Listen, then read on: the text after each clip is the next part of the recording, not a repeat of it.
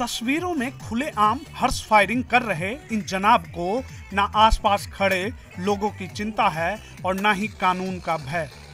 आपको बता दें, ये जनाब जो खुलेआम फायरिंग कर रहे हैं, ये भारतीय जनता पार्टी के युवा मोर्चा, कानपुर के जिलाध्यक्ष शशांक मिश्रा हैं। ये खुलेआम कानून की धज्जियाँ उड़ाते देखे जा रहे हैं और यह वीडियो पूरे सोशल मीडिया पर वायरल हो रहा है।